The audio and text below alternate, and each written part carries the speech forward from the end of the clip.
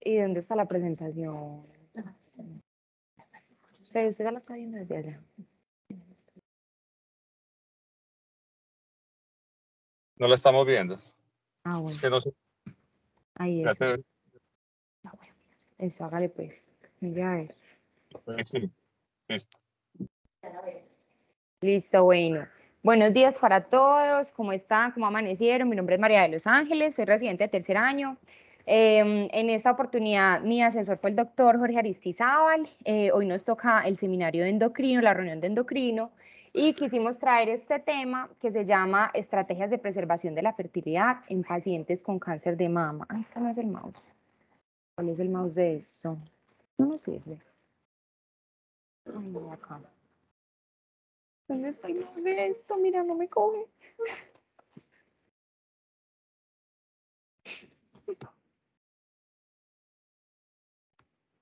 Bueno, quería tener como el cosito este del puntero. Ya, listo. Bueno, ya, listo. Empecemos, pues ya arranquemos. La motivación, les quería contar, la motivación para hacer esta, esta reunión o esta revisión surgió eh, cuando estaba pasando por la rotación de fertilidad, porque tuvimos una paciente de 27 añitos que tenía, justamente ese día le habían diagnosticado cáncer de mama, el día que ella fue a esa consulta de fertilidad. Eh, obviamente ella tenía un montón de información nueva en su cabeza, eh, quimioterapias, cirugías, ella pues con 27 años, tener que afrontar todas estas cosas y cayó pues allá nuestra consulta de fertilidad. Y el profe me decía, María, mm, grábate esto, esta es la única urgencia que hay en fertilidad, hay que ser muy rápidos, tienes que tener todo muy claro. Entonces yo decía, bueno, hay muchas cosas que no sé, o sea, yo no sé eh, qué alternativas tiene ella, yo no sé cuánto tiempo disponemos, eh, yo no sé si estos tratamientos le van a afectar su pronóstico del cáncer, em, pues como tantas cosas, si eso lo cubre la EPS o no. Entonces, eh, la idea era pues como hacer esta revisión para tratar de resolver algunas de estas dudas. Entonces, bueno, vamos a empezar. Hay como tres pilares en los que se basa esta revisión, en los que se fundamenta, y es primero, el cáncer de mama es el cáncer más frecuente eh, en tanto en población masculina como femenina y es la principal causa de muerte por cáncer en mujeres, ¿cierto? Y obviamente en mujeres en edad reproductiva pues no va a ser la excepción, también es la principal malignidad. Eh, aquí lo podemos ver, esta es la gráfica del GLOBOCAN del 2020, el cáncer de mama definitivamente es el más importante. Otra afirmación cierta es que la quimioterapia adyuvante en cáncer de mama definitivamente salva vidas todos los días y es completamente necesaria, ¿cierto? Pero no podemos olvidar que la quimioterapia y la radioterapia se comportan como unos tóxicos que van a afectar directamente la función ovárica. Entonces, estas tres afirmaciones son las que fundamentan pues como la revisión de hoy. Este es el gráfico de Globocan E 2020, pero específicamente aquí vemos nuestro país, Colombia, y las mujeres en edad reproductiva, entre 15 y 44 años. Aquí vemos más o menos 3.000 mujeres que cada año van a estar afectadas en edad reproductiva con cáncer de mama. Mujeres que nosotros vamos a tener que ver en nuestra consulta que vamos a tener que brindarles esta información de la importancia y todos los efectos que hace la quimioterapia en su función ovárica y qué alternativas vamos a tener. Miren este dato, 25% de las mujeres eh, que se les hace el diagnóstico de cáncer de mama son premenopáusicas y requieren nuestra ayuda.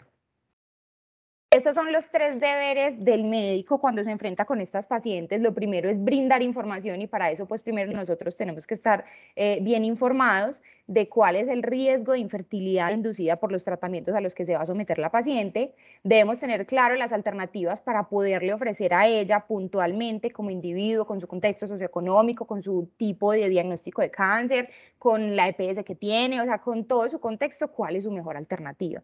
Y remitir oportunamente a los servicios de endocrinología y fertilidad para poder asegurar estos tratamientos.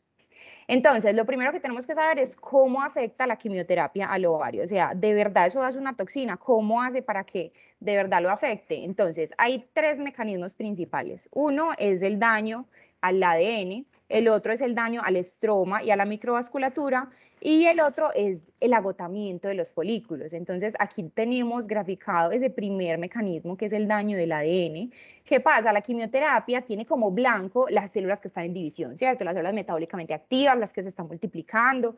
Entonces, una de esas células pues van a ser las células de la granulosa y de la teca. Entonces, eh, al afectar estas células, ellos, lo que va a hacer estos mm, fármacos es que van a afectar directamente eh, la cadena del ADN, se van a activar unas cascadas de apoptosis que van a terminar en un agotamiento folicular. Se dice que incluso tan rápido como entre 12 y 48 horas ya se empieza a ver el agotamiento folicular agudo. Este es el otro mecanismo que este se encargaría de hacer una, un agotamiento folicular un poco más tardío, que este es el daño eh, estromal a todo el tejido pues, de soporte y de nutrición del ovario. Esto genera una hipoxia tisular que nos va a hacer también esa pérdida de folículos. Y el tercer mecanismo es un reclutamiento masivo de los folículos primordiales. Recordemos que hay dos etapas de reclutamiento, em, pues en como en todo esto del ciclo ovárico, ¿cierto? Entonces, hay una fase de reclutamiento que es independiente de gonadotropinas, que acá la que la hormona pues como que nos está regulando todo eso es la antimuleriana, y estos folículos primordiales son los que se van a ver afectados por la quimioterapia. Entonces, en el momento en que disminuye esta reserva, entonces se aumenta la antimuleriana, pues aumenta, disminuye la antimuleriana, entonces hace un mecanismo de retroalimentación negativa para reclutar más folículos y la quimioterapia vuelve y los daña y vuelven y se reclutan más, entonces de esta manera se van agotando.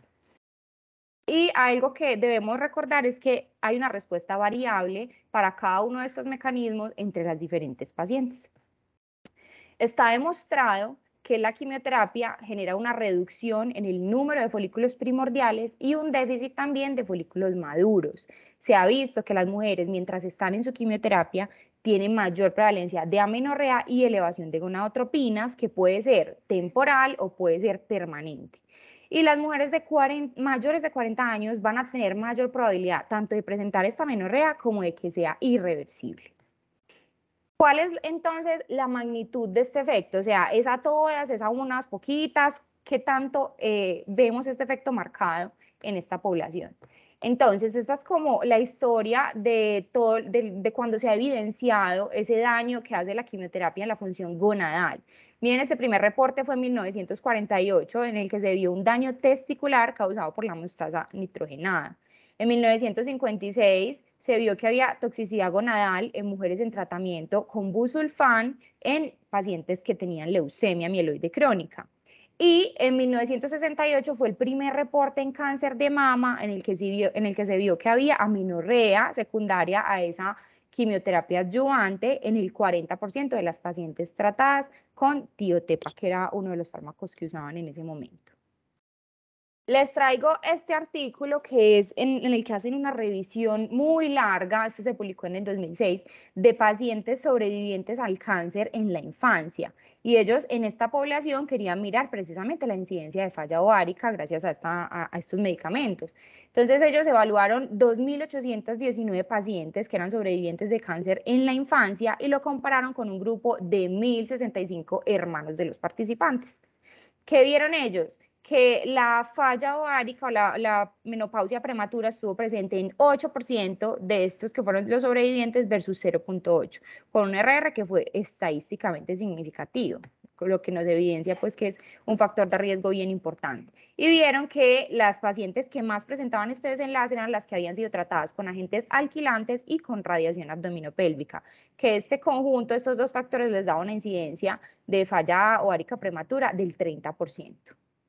Este estudio específicamente es en cáncer de mama, es viejito, pero es como de la revisión más grande que encontré. Eh, fue una revisión de 30 estudios, en, total evaluaron 3.628 pacientes ellas vieron que había una tasa de amenorrea relacionada con la quimioterapia, la principal que se usaba en ese momento, que era ciclofosfamida, metotrexate y fluoracilo, del 68%. Y vieron que era muy importante la edad, como ya lo hemos mencionado, en las menores de 40 años, con una tasa entre el 21 y el 71%, comparado con las mayores de 40 años, llegando a ser en algunas pacientes hasta el 100%. Entonces, es muy importante tener eso en cuenta. Y también vieron que había una relación con la dosis de esa quimioterapia. Entonces, en un ciclo del 10% para las menores de 40 y del 33% para las mayores de 40. Y así, y vean, por ejemplo, las de 12 ciclos, llegando a ser del 95% de prevalencia de falla ovárica en las mayores de 40 años. En esta tablita, esta tablita eh, es de un estudio en el que hacen una revisión de 14 em, estudios pues, que habían publicado sobre amenorrea por quimioterapia y aquí lo que podemos ver es cómo se distingue eh, esa incidencia de amenorrea según el régimen de, quimioterapia que se use. Entonces veamos que con los agentes alquilantes es con el que siempre va a haber mayor eh, afectación. Entonces cuando se usa ciclofosfamida, metotrexato y fluoracilo, miren que las tasas pueden llegar hasta el 96%. Hay otros fármacos en los que no se ha pues como completamente establecido el papel de la quimioterapia, como en los taxanos, pero de todas maneras siempre encontramos que hay una mayor prevalencia comparado con un grupo de control. Bueno, entonces, teniendo ya este panorama, que ya tenemos claro que sí hay una afectación, ¿qué opciones entonces tenemos? ¿Cuáles opciones existen precisamente para lograr eh, la preservación de la fertilidad? Entonces, lo primero que tenemos que hacer es definirnos cuál es nuestra meta. Nuestra meta es que la paciente quede en embarazo en el futuro después de pasar por todo su tratamiento oncológico o nuestra meta es preservar la producción hormonal. Porque si la meta es que la paciente se embarace, la mejor alternativa definitivamente va a ser la criopreservación, como ya lo vamos a ver. Pero si nuestra meta es preservar la producción hormonal, entonces acá lo que tenemos que hacer es una supresión ovárica. Lógicamente, estas dos alternativas van a depender de muchos factores, de cuál va a ser el tratamiento oncológico que se le va a, a la paciente, si es lo quimioterapia o si también es radioterapia, de si la paciente tiene una pareja en este momento, los costos, la disponibilidad, las creencias de la paciente, con lo que ella esté más cómoda. Eh, ya vamos a empezar a ver todo eso. Entonces vamos a empezar con los medicamentos que tenemos, que es la supresión ovárica. Entonces, en este ámbito, eh, los medicamentos que se usan son los agonistas de GNRH. Lo que ellos van a hacer es que van a suprimir la función, van a hacer como un freno de todo el ovario durante el tratamiento oncológico y estaría como en estas dos indicaciones. En las premenopáusicas, que a pesar de que ya tienen su paridad satisfecha, eh, se desea conservar esa producción hormonal por la salud ósea y cardiovascular, o en mujeres que sí tienen el deseo de la maternidad, pero que por cualquier motivo económico, de disponibilidad, de pensamiento, lo que sea, no han podido, pues no pueden acceder a la criopreservación. Entonces, recordemos rápidamente cómo funcionan esos agonistas. Eh, normalmente, pues en el, en el eje hipotálamo hipófisis ovario, del hipotálamo se libera la GNRH, ella va y estimula en la hipófisis la secreción de gonadotropinas, ellas van al ovario y estimulan todo el reclutamiento, la maduración folicular eh, y la esteroidogénesis y se hace pues como una regulación negativa, tanto con los mismos esteroides y la inhibina. Entonces, ¿qué pasa? Cuando yo doy un análogo de GNRH, lo que va a hacer este medicamento es que se me va a pegar al receptor en la hipófisis de la GNRH. Entonces ya ella no va a poder ir a hacer sus efectos y no se van a liberar gonadotropinas y no van a ir a hacer ningún efecto en el ovario. Entonces el ovario va a quedar como en reposo. Queda bloqueado y no va a responder pues como al estímulo que yo tenga de los análogos, digo, de, la GNRH. Bueno, entonces, eh, ¿qué desventajas tiene esta supresión ovárica o, o, este tratamiento con estos medicamentos? Resulta que desde la explicación biológica, los folículos primordiales, o sea, no los primarios, sino los primordiales, en realidad no tienen receptores de gonadotropinas, entonces no tendría un sentido yo frenar como toda eh, la, cascada de eventos que me desencanan las gonadotropinas, si estos folículos no van a tener nada que ver con eso. Y ya vamos a ver con la evidencia que en realidad los estudios son contradictorios. Aquí tenemos como la evidencia a favor. Eh, esto es una revisión sistemática, les traigo de revisiones sistemáticas como de las más recientes que encontré, son puros eh, RCTs los que ellos juntan este estudio en particular incluyó 12 RCTs, en total eran 1.231 pacientes y pues hacían un grupo con, que eran sometidos a quimioterapia, un grupo les daban concomitante el agonista GNRH y en el otro grupo era solamente pues la quimioterapia y se evaluaban entonces cuáles eran la incidencia de falla ovárica y miren, por ejemplo, en este estudio sí parecía tener una protección los agonistas de GNRH con un OR del 0.36 y con un intervalo de confianza que era estadísticamente significativo. Incluso cuando medían el desenlace de embarazos, les iba mejor a los que habían usado los agonistas y también había sido estadísticamente significativo. Esta otra revisión es del 2016 en estas se incluyeron fue siete estudios, en total eran 1.047 pacientes, Y en ellos, eh, ellos evaluaron la, el retorno de la menstruación y vieron que había un beneficio también con el uso de agonistas. Y lo mismo, el embarazo también encontraban beneficio. ¿Qué pasa? ¿Y cuál es como el pecado de todos estos estudios y por qué es que no haya un consenso? Porque todas estas revisiones sistemáticas y estos RCT toman como desenlace el retorno de la menstruación para definir si hay o no falla ovárica. Y sabemos que el retorno de la menstruación no nos asegura fertilidad. O sea, estos estudios no nos dicen si los ciclos son regulares, cómo son las características del sangrado, no nos miden hormonas. Entonces, eh, el, hecho de que yo tenga un sangrado no me asegura que yo tenga ovulación, que yo sea una mujer fértil. Entonces, por eso es que se han criticado tanto estos estudios. Entonces, hay otros estudios que también existen que han medido ya como tal el desenlace basado en la FSH para yo medir eh, falla ovárica. Entonces, miren, por ejemplo, este es del 2016 y ellos que dicen, cogieron 129 pacientes, eh, lograron apenas tener 63, pues como en el seguimiento a dos años, y ellos vieron que cuando el desenlace era una FSH mayor a 40, en realidad el OR no fue estadísticamente significativo porque el intervalo de confianza sobrepasa la unidad, pues la igualdad. Entonces, eh, ellos dicen que no hay evidencia del beneficio. Y este otro estudio del 2015 en este se usó, se usó goserelina, pues los fármacos que por lo general se usan, streptorelina o goserelina, ellos incluyeron 218 pacientes y lo mismo, cuando usaban el desenlace con FSH, eh, vieron que había falla ovárica en 22% con solo quimioterapia y en 8% ya así con agonistas. En este, este sí fue estadísticamente significativo, eh, pero en los desenlaces de embarazo no tuvimos un desenlace pues, estadísticamente significativo para tomar eh, conductas. Entonces aparece esta revisión que incluyó pues como todos los estudios que se habían publicado hasta ese momento, este es del 2019, en cuanto a si dar, no dar, qué vamos a hacer. Aquí está en esta última columna pues como la recomendación final de cada estudio primario, de si, dar o no, pues de si, hay beneficio o no con los agonistas. Mm, y en general las guías ya vamos a ver que no se ponen de acuerdo, o sea, no hay como una recomendación establecida de o no, ¿qué pienso pues o qué, o considero yo que me llama la atención? que no siempre lo estadísticamente significativo va a ser lo clínicamente significativo, ¿cierto? O sea, porque yo estoy en un contexto muy diferente, o sea, estamos en un país en el que las mujeres no van a tener acceso a la criopreservación, en el que el tiempo va a ser muy demorado, entonces eh, estos medicamentos que nos ofrecen algún beneficio, eh, creo que pueden tener un papel pues muy importante y de hecho lo vemos día a día en, en las rotaciones pues como oncología que sí se usan. Estas son las recomendaciones de las guías. Esta es la de la Sociedad Americana eh, de Oncología y ellos dicen, cuando las técnicas probadas como la criopreservación no sea una posibilidad en mujeres jóvenes con cáncer de mama, se deberían ofrecer los análogos, perdón, que aquí me faltó la G, de GNRH con el objetivo de reducir la insuficiencia ovárica. Entonces es como lo que estábamos diciendo, o sea, si no tenemos la posibilidad, pues los debemos usar y podemos recurrir a ellos.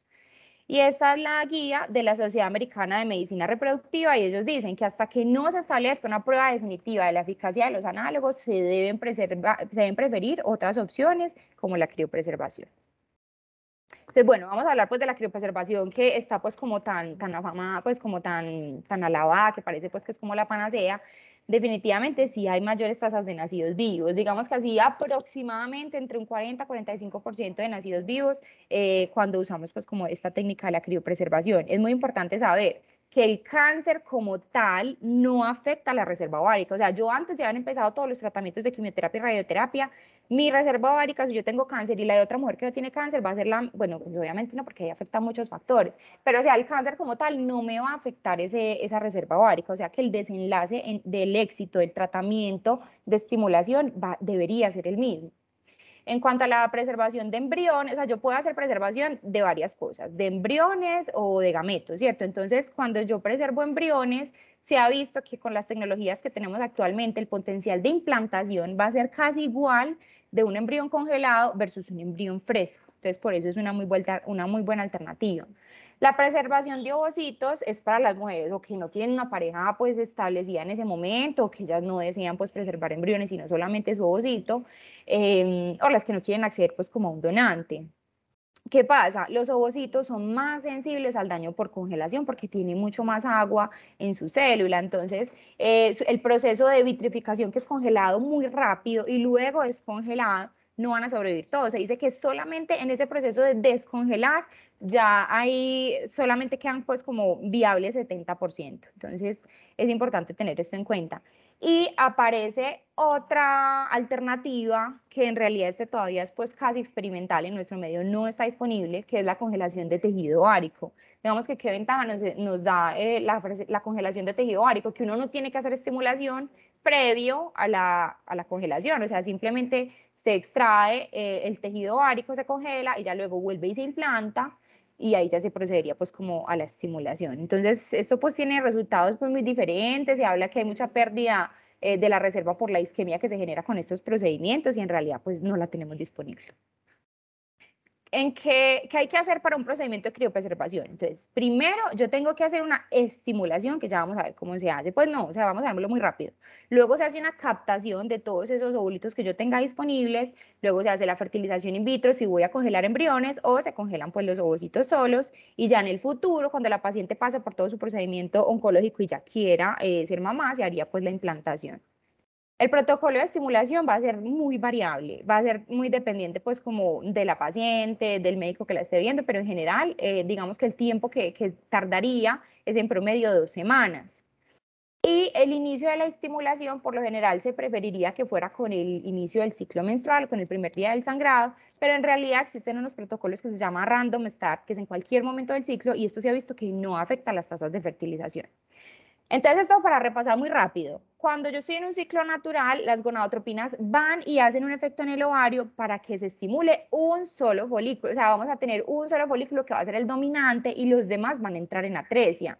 Miren cómo se vería por ecografía. Tenemos un folículo dominante y los demás muy chiquiticos, ¿cierto? Eso sería lo normal pero nuestra intención cuando estamos haciendo estimulación no es eso. Cuando uno está haciendo estimulación, lo que hace es que da gonadotropinas exógenas, o sea, se ponen en inyecciones pura FSH, y lo que queremos es reclutar un montón de folículos, o sea, como que haya una multidominancia folicular.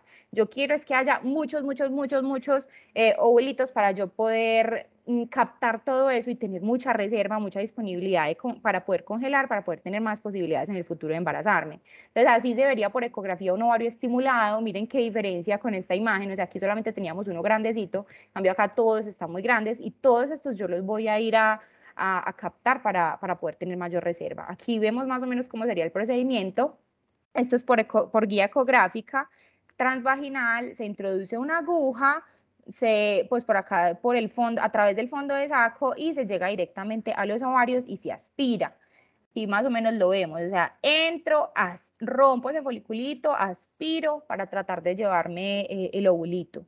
Y ya ahí va a depender lo que yo quiera congelar, ¿cierto? O sea, si yo congelo el ovulito, bueno, o de una vez voy y fertilizo para congelar el embrión. Entonces, después de que yo ya tenga o el ovocito o el embrión ya recolectado, ellos van a un proceso pues como de estabilización de temperatura y luego se congelan en nitrógeno líquido pero entonces ya vimos que con este procedimiento yo lo que hago es que le doy un montón de gonadotropinas para estimular muchísimos folículos al tiempo. Y recuerden que cada folículo está produciendo estrógenos.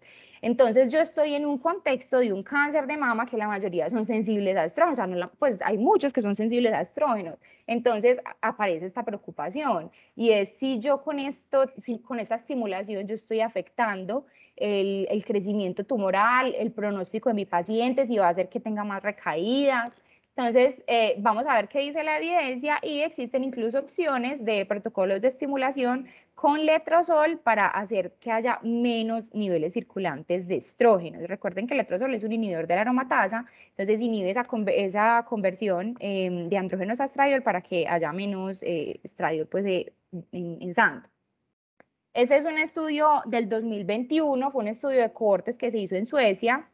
Ellos tenían 425 mujeres con cáncer de mama que estaban en tratamiento de preservación de la fertilidad, que les dieron eh, un seguimiento del 94 hasta el 2000, pues eh, reclutaron pacientes entre 1994 hasta 2017. Y el grupo control fueron 850 mujeres también con cáncer de mama que las emparejaron según la edad del diagnóstico, el tiempo que había pasado desde el diagnóstico y pues donde vivían. Y ellos que encontraron, obviamente, en el grupo que estuvieron estimuladas, pues en el que se hizo criopreservación, tuvieron mayor tasa de nacidos vivos, de un 23% en las que se hizo criopreservación y un 9% en las que no. Y además vieron que la mortalidad no, no se empeoró por haber hecho este, este tratamiento. Incluso ellos vieron que hubo una disminución en la mortalidad y fue estadísticamente significativo. Entonces, en, eh, en este artículo nos podría ayudar a decir, o sea, este protocolo de estimulación no me empeoró el pronóstico en mis pacientes. Y aparece esta otra revisión sistemática, esta es del 2017, se incluyeron 15 estudios, RCTs, casos y controles y de cortes, en total fueron 1.516 mujeres, 911 eh, estuvieron en estimulación y 525 fueron los controles. Entonces ellos vieron el desenlace que querían comparar era recurrencia y miren que no hubo ninguna diferencia. O sea, el hecho de yo dar tratamiento con estimulación, liberar altos niveles de, hormonas en la sangre para poder lograr una buena captación y poder luego lograr embarazos en el futuro, no me empeora ni el pronóstico, ni la mortalidad, ni la recurrencia en estos estudios pues, que tenemos disponibles. Y eh, en estos eh, artículos nos hablan que las pacientes que tenían receptores de estrógenos positivos les administraban, como habíamos dicho, el letrozol para tratar de disminuir ese pico de estradiol. En estos estudios no se diferencia las mujeres si tenían, o sea, se mete en el mismo grupo las mujeres que tuvieran estrógenos positivos o estrógenos negativos. Bueno, entonces, listo, ya vimos qué es lo que hay que hacer, ya vimos que tiene pues más o menos buenas tasas de éxito, pero yo cuánto tiempo tengo para hacer eso, o sea, si me va a dar tiempo, ¿qué va a pasar? Esa señora tiene que empezar quimioterapia ya, o sea, es cáncer de mama, tiene una alta mortalidad, entonces yo sí tengo tiempo de hacer todas estas terapias. Entonces, bueno, vamos a ver qué nos dice la evidencia. Este es un estudio del 2006 que nos muestra cuál es el impacto en la sobrevida dependiendo del tiempo que yo me demore al inicio de la quimioterapia en pacientes con cáncer de mama en etapas tempranas. Con estudio retrospectivo incluyó 2.594 pacientes en estadio 1 y 2 y evaluó la sobrevida global según el tiempo que se tomó desde la cirugía hasta la quimioterapia adyuvante. Miren esta gráfica tan bonita. Ellos dividieron los grupos entre las que se demoraron entre 0 a 4 semanas, entre 4 a 8 semanas, 8 a 12 semanas y más de 12 semanas. Miren que las que estaban en el grupo de menos de 12 semanas para el inicio de la quimioterapia, en realidad la sobrevida fue muy similar a los 5 años, pues que fue el tiempo que ellos tomaron. En cambio, cuando se demoró más de 12 semanas, ahí sí se separa un poquito más ese grupo. Y el HR fue significativo con 1.6 y el intervalo de confianza pues es estadísticamente significativo. Entonces, este estudio nos permite dar como conclusión que si tenemos eh, una duración o una demora de menos de 12 semanas, no se nos va a afectar el pronóstico de nuestra paciente. Y este otro estudio, este fue hecho prospectivo, ellos sí hicieron un seguimiento, en realidad pues a los 10 años ya se les habían perdido muchas pacientes, pero ellos los grupos los dividieron fue entre menos de 21 días y más de 21 días para el inicio de la quimioterapia y evaluaron esa sobrevida, miren que fue muy similar a, los cinco años, cuando se hicieron el punto de corte de cinco años, la sobrevida había sido 82% versus 84%, o sea, muy similar. Entonces, cuando los, los tiempos son cortos, eso no nos va a afectar la sobrevida de nuestras pacientes. Aquí podemos establecer más o menos 12 semanas. Y este otro estudio es uno en el que nos eh, evaluaron específicamente si había una diferencia. Esto fue eh, en un centro de fertilidad de la Universidad de Stanford. Ellos cogieron en su mismo centro de fertilidad las pacientes que habían venido eh, por remitidas pues, por, por tratamientos oncológicos o por otra causa y en realidad vieron que mm, en las que hacían el protocolo de estimulación versus en las que no hacían el protocolo de estimulación, no hubo pues como diferencias eh, para el inicio del tratamiento de la quimioterapia. Miren acá, pero quiero llamar la atención en un aspecto muy importante. En el grupo en el que sí se hizo estimulación para hacer captación, el tiempo desde el diagnóstico del cáncer hasta la consulta de fertilidad fue de 30 días, o sea, en realidad fue un tiempo corto, en menos de un mes las pacientes ya todas estaban vistas. Y desde que la paciente ya fue vista en consulta hasta la captación pasaron 32 días, o sea, un mesecito. Miren el tiempo del diagnóstico inicial del cáncer hasta el inicio de la quimioterapia. En el grupo en el que se hizo estimulación y captación, el tiempo fue de 71 días.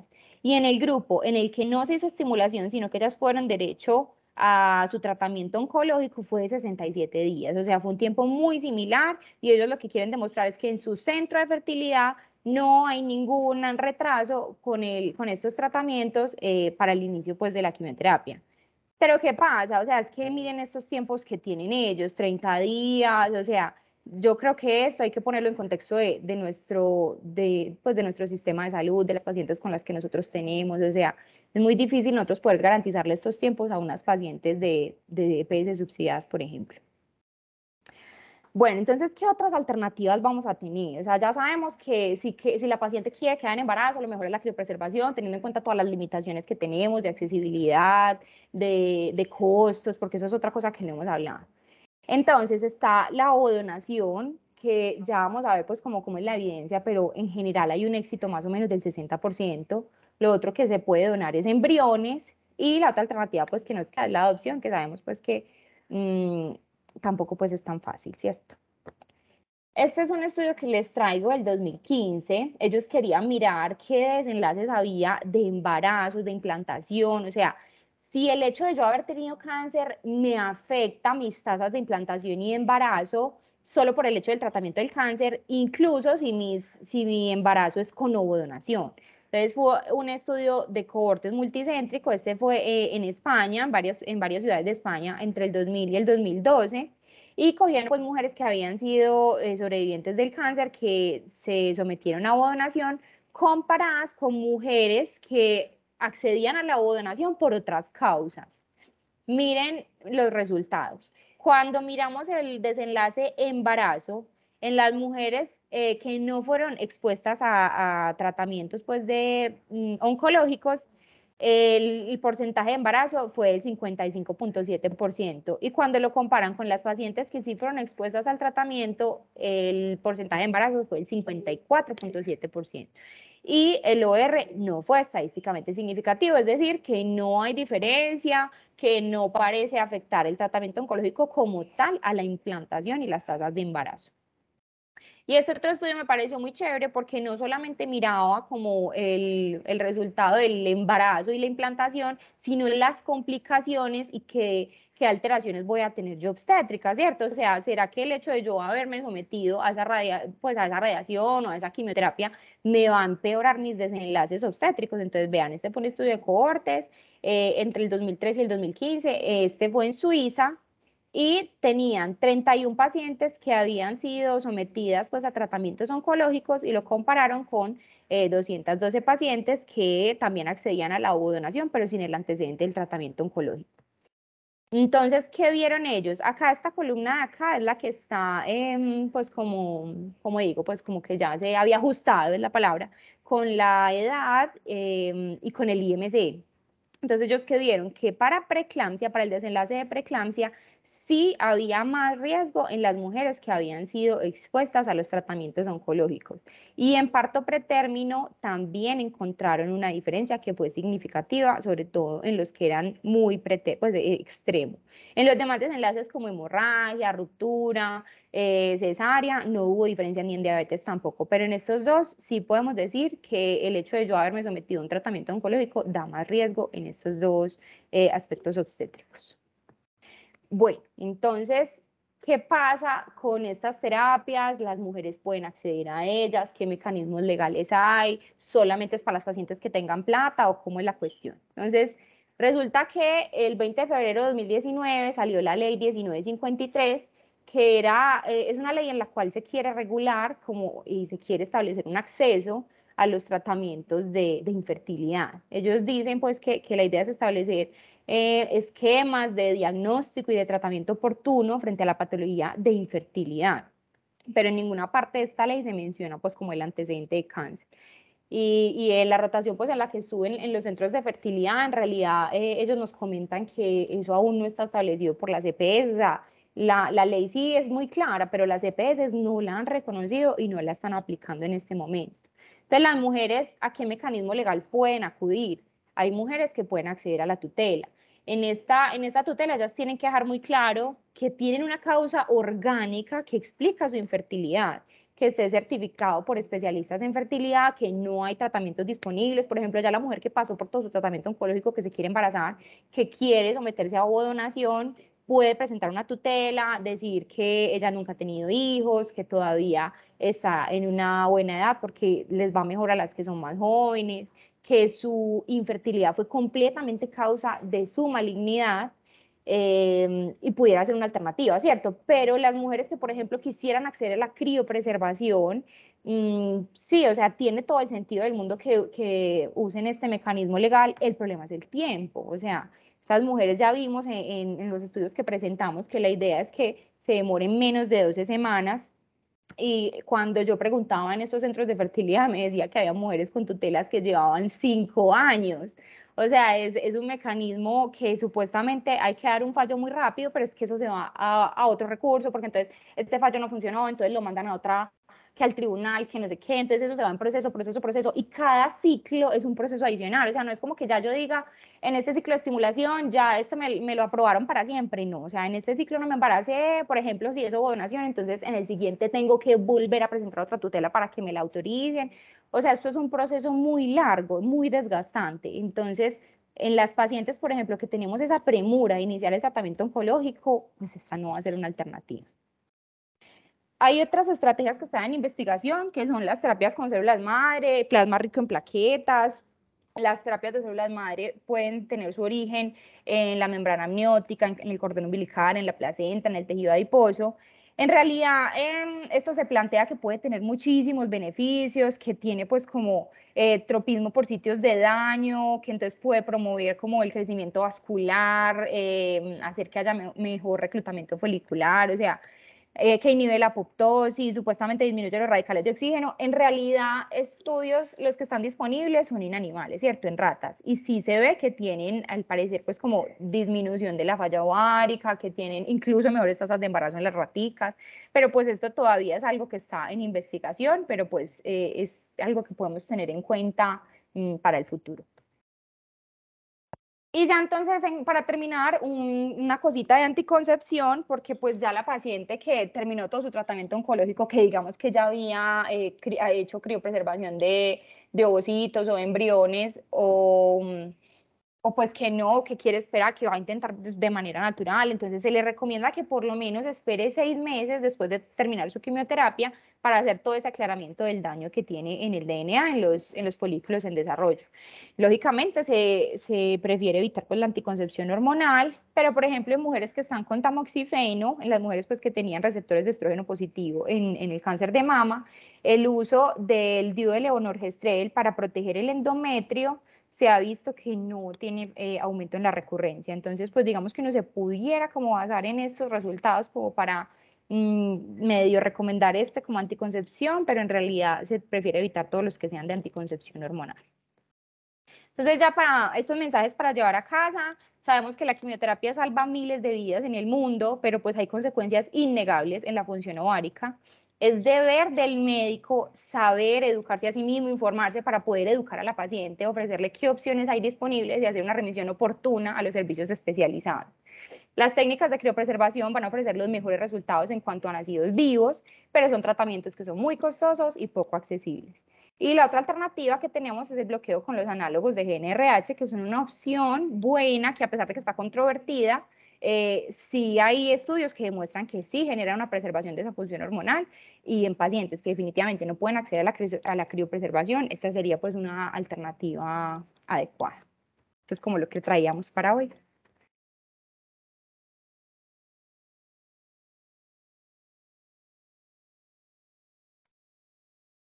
Hola. Hola, profe. Sí, profe, lo oyemos bien. Lo oímos. Ay, oíme bueno, bueno, resumen del tema. Muy buen resumen del tema y detalles que, que sí me gustaría discutir. El primero es que el proyecto de ley 1953 nunca fue una ley, se quedó en comisión, en comisión, en comisión, se quedó en comisión en, en, la, en las sesiones ordinarias de 2019 y quedaron en presentar como prioritario para 2020 y nunca jamás ocurrió. Ahí probablemente hubo una manipulación, pues, eh, yo, de los lobistas interesados pues, que progresara la, la ley. No voy a decir pues, más de eso, pero no, no hay ninguna ley realmente. No, no existe. Okay. Por esa razón, de, de, por esa razón lo que se hace es poner tutelas, pero claro, ya aclaraste que una emergencia reproductiva como la que le, como la esta paciente que está anotando eh, consultó, pues no da tiempo para hacer acción, porque ya está pues, una situación dramática, porque hay que sacar el, el, dinero sí o sí. Lo otro, por respecto a la estimulación inmediata antes del, antes del, eh, del tratamiento, es que se necesita un cierto número de ovocitos. Bueno, están las dos posibilidades, de congelar ovocitos o congelar embriones. Congelar embriones asume que tenga pareja. Pero el rendimiento de la descongelación de ovocitos es mucho menor. Entonces, se necesita un número mínimo para tener una probabilidad buena de tener un hijo vivo en la casa. Y un solo ciclo de estimulación, pues, mm, puede no dar. Esas sí. variables complejas, pero bueno, de todas maneras, es la opción más importante porque a mí no me queda ninguna duda, y se lo firmo, es que los análogos de NERAS no sirven absolutamente para nada. Y la razón es biológica. El análogo penal algunas otropinas y los eh, folículos que son que responden a gonadotropinas son los folículos de los últimos 70 días de desarrollo. Estamos hablando uh -huh. de un folículo humano, se toman los primario y 50 días para, para desarrollar. Entonces puede que tenga alguna acción en los folículos eh, que tienen respuesta a FSH. Entonces lo que se ve con estos tratamientos, la mujer retoma los de ciclos más, dando la idea de que de folículos que venían ya se pudieron protegerse, entre comillas, y todavía responde a, a, a, pero son un periodo corto, son un poco más de seguimiento. Cuando hacen seguimientos a mayor plazo, pues realmente también van a estar eh, más o menos el mismo ritmo que las que no reciben tratamiento. Entonces, el análogo MRS realmente es perder el tiempo en términos generales. Ahora, mmm, y la otra pregunta es, particularmente con sea de mama, es paradójica, que hablando ya de la, del mantenimiento de la función reproductiva del ovario, no reproductiva, sino, no, no, no, reproductiva, sino funcional, hormonal, pues es contradictorio porque los oncólogos nos están mandando pacientes a hacer ovorectomía, eh, las mujeres lógicamente premenopáusicas, porque pues, lógicamente las mujeres con receptores positivos jóvenes de alto riesgo, pues eh, cada molécula que circule por ahí es un enemigo. Entonces, paradójico, porque ya en, en esta situación, digamos que perder la función ovárica puede ser ventajoso, entre comillas, desafortunadamente para el manejo de su cáncer. En realidad, hablar de, de, de, preservación es básicamente hablar de reproducción. Yo creo que en términos prácticos, lo único que queda son esas dos cosas: la estimulación previa, rápida, inmediata, para conservar ovocitos o mejor embriones, si es posible o la donación que sí le da tiempo hasta eh, edades más avanzadas, estoy hablando sobre el cáncer de mama, porque por supuesto en los cánceres eh, pélvicos pues, si van a radioterapia, la situación sí definitivamente pues es límite, ya, ya tendríamos que hablar de situaciones extremas uh -huh. eh, que no están incluidas como trasplantes uterinos, no nos clasifican para trasplantes uterinos. Entonces en esas pacientes realmente la situación sí es la única que haría la, la, el útero, el útero subrogado, pues que sería la, la opción pues, en cualquier momento pierde su útero pues, por otras eh, situaciones. No sé si hay algún comentario, que se me quedan algunas cosas, no sé si de pronto Luisa tenga algún comentario. si, si tienes alguna si tienes cosa que decir, Luisa. Hola Ángeles, ¿cómo estás? Primero, Hola, felicitarte porque una revisión de un tema muy interesante y sobre todo muy actual. Y interesante digo porque creo que todos los médicos, sin importar en qué área o campo trabajen, debemos estar al tanto de las necesidades que las mujeres, no solamente con cáncer de mama, sino con cualquier otra patología oncológica que pueda afectar la reproducción a nivel futuro, debemos conocer. Una de las cosas, Ángeles, que es importante que la gente sepa y aprovechando que tienes todavía a esta hora más de 70 conectados a tu reunión, eso es porque hiciste una muy buena exposición, es que cuando hablamos de técnicas de reproducción asistida, muchas veces las personas piensan que esa captación folicular y que esa criopreservación es inalcanzable. Y entonces le pasa a las mujeres que están entre los 35 y 30 y 35 años, que no saben si quieren tener hijos y piensan que la criopreservación es costosa, que una mujer con cáncer se centra en el, la preocupación oncológica y digamos que no ve un futuro y eso hace que pues, no considere las técnicas de reproducción asistida y que los costos generan temor. Pero es importante que la gente, y yo creo que tú ya al haber rotado sabes, que con 10 o con 15 millones usted perfectamente criopreserva. Y cuando vemos que es una cifra que si bien es costosa, pero es alcanzable probablemente para una mujer la tranquilidad de entrar a un proceso de quimioterapia sabiendo que tiene su reserva de criopreservación guardada, le dé mucha tranquilidad a futuro. Entonces es importante, uno, que la gente sepa cuál es el impacto de estas técnicas de los tratamientos oncológicos sobre la fertilidad, uno, para que las pacientes sepan a qué se va a someter, dos, que las posibilidades existen, que en Medellín hay cinco centros de reproducción asistida que perfectamente le pueden brindar el servicio a todas estas mujeres, y tres, que mientras no esté, digamos que normatizado, es algo que si bien es costoso, es de cierta manera accesible y asequible para un grupo considerable de la población. Entonces es importante y el reto es que todos nuestros estudiantes y los colegas, y digamos que quienes vayan a trabajar en cualquiera que sea su campo, conozcan la importancia de asesorar a las mujeres previo al inicio de las terapias oncológicas para que puedan tomar decisiones, digamos que adecuadamente informadas. Agradecerte Ángeles por la revisión porque me pareció muy completa, muy pertinente. Gracias, profe. Respecto a lo que usted mencionaba de los costos, de hecho, por ejemplo, en el que nosotros rotamos, hacen un descuento para las pacientes que tienen diagnósticos oncológicos ya para, para hacer estos tratamientos de criopreservación.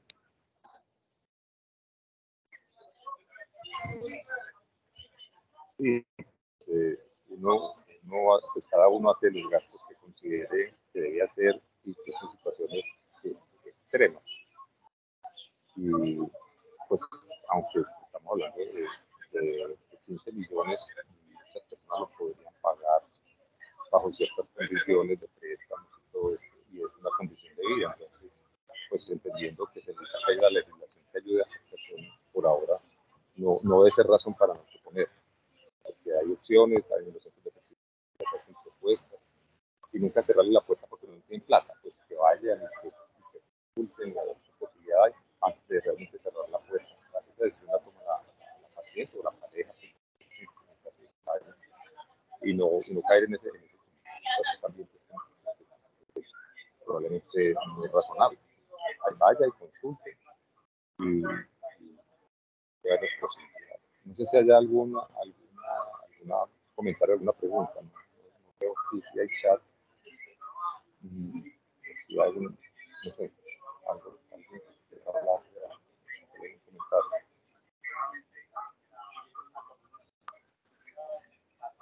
Ángeles, pues, eh, una, una conclusión. Eh, en el chat, profe, hay un comentario.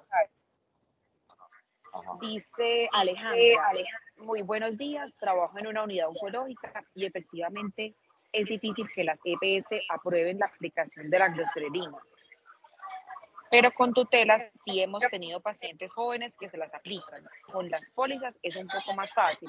En general el tiempo que la doctora comenta de hasta 12 semanas es mucho tiempo.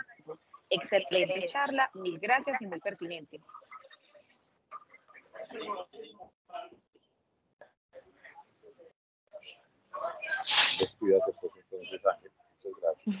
Bueno, muchas gracias a todos por su atención. Yo creo que es un tema pues es importante que conozcamos y que sepamos pues por lo menos inicialmente qué información le tenemos que brindar a nuestros pacientes. Muchas gracias entonces a todos por la asistencia. Gracias, profe.